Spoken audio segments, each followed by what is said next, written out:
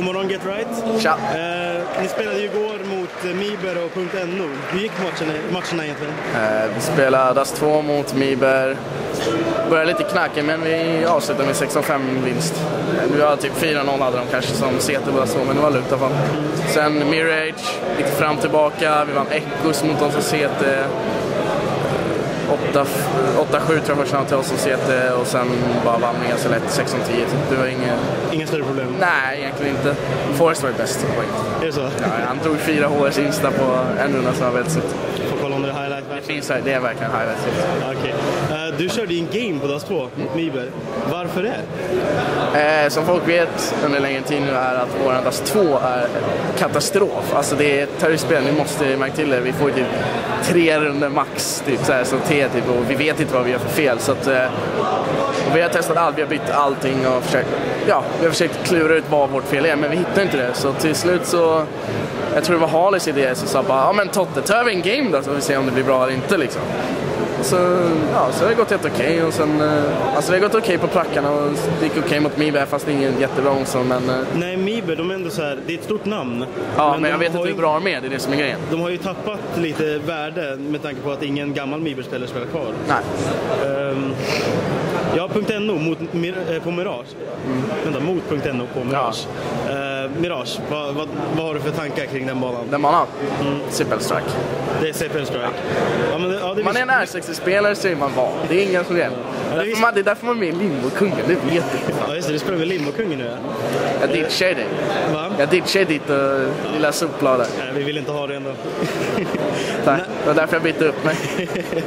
Nej, men eh, nu då? Ni, kommer, ni är vid ett slutspel. Ja. Ni vet inte vilka ni möter än? Rage. Möter ni Rage? Jag tror det är därför vi körde grupperna samtidigt igår. Ja, okej. Jag tror det för att man inte ska fiffla det. Vissa lag brukar fiffla mellan dagarna. rätt. Om de ser ett bra lag vinner ena dagen så spelar de dagen efter så bara, men eh, vi lägger oss där mot ett sämre lag. Ja, just. Så att de, om det Då skulle får de lättare väg. Eller? Ja, precis.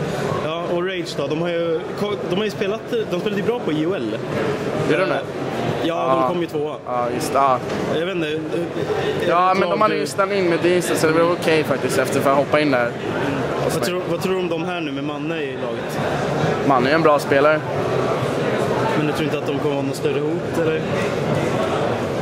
Alltså grejen är så här, Rage är ett lag som är ett, om man underskattar dem så förlorar man. Det är ett sånt lag. Men om man inte underskattar dem så kan man inte förlora mot dem. De är inte dåliga, det är inte så, men det är... Jag vet inte om mannen var ett bra steg. Det, vad jag tycker från det så är att det det är ett taktiskt lag som man baserar mycket på lagspel, deras lag. Jag känner inte mannen kanske är en sån lagspelare, fast han skjuter riktigt hårt. Men det kanske är en sån grädde som de behövde, att de behövde en skjutare, en riktigt hård skjutare. Därför de till exempel tog in Dennis första början också, som är också en väldigt duktig skjutare också. Men jag vet inte, alltså, det är ändå deras första event med honom, så jag kan inte svara på det. Även fast de spelar okej på det. Ja. De, de senaste Dreamhacken har ni inte presterat speciellt bra här. Ehm, det är väl lite av, det är väl lite av er, er turnering att inte komma speciellt långt i. Den enda turneringen ni egentligen aldrig kommit till final i va? Ja, alltså som Fnatic då. Du har ju kommit till final. Eh, De har ju vunnit kval och såna grejer förut har de gjort. I SVC Ja, Karlstad. just det. De Men har ju aldrig- vunnit någon, men de har aldrig vunnit själva turneringen eller liknande. Jag har vunnit det med Rasmus med Lemondotts Ja. Det är det enda liksom Fnatic som har vunnit så att säga. De har Men vad, vad tror ni, var, var, varför tror ni att det, det går så knackigt just här på Dreamhack? Är det någonting med själva lanet eller är det bara otur att det, att det råkar vara här? det är DreamHack. Det, det är för att det är Dreamhack alltså. Fusklanet eller jag vet inte. Ja just det, det var ghosting och grejer. Nej, nej, ja just det, det gjorde de ju fan inte. Mot er. Han är.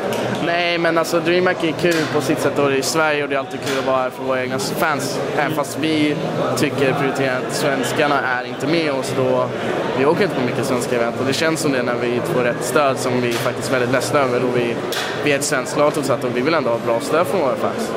Men det menar, jag menar allt folk. Vissa, vissa kan skriva på frammen men de är ändå på fans. Ja, får, har du fått skriva autografer? Det är inte så mycket sånt i Sverige, men det kommer ändå fram folk. Ja, eh, några stycken kommer småungar såna här som är tio år gamla och ler jättestort på piprösten och säger kan jag få en autograf och så eh, Det är kul. Ja, alltså det, vad jag försöker säga var att det är gulligt för de är ju små du vet. du? Nej men det har hänt några och så har hänt några bilder också. Såna här, så det, Men det kanske inte det, kan, det är betydligt mindre i alla fall men det kan inte jämföras med typ Ryssland och, Nej. och Kina antar jag? Okej. Ja, men då ska jag låta dig späcka vidare på matchen här. Trevligt. Eller vad du nu skulle göra. Nej, så jag går runt och tar mina piller som jag fick eh, av eh, en MSC-anställd. Eh, Jag tror den ena var för... eh, Prestationsboost. Nej, det var för eh, halsen tror jag och den här var för febern. Alltså, Ja, är du sjuk? Ja, alltså jag fick lätt feber igår och eh, sen har vi haft dörren öppen hela natten när det var minusgrader i vår stuga som vi bor i. Så jag har frusit ihjäl mig typ hela natten. Det var inte smart. Nej, du krya på dig och lycka till. ja tack. Men alltså jag låter inte så gott så det är okej ändå. Men jag får tacka i alla fall ändå. Ha det bra. Detsamma.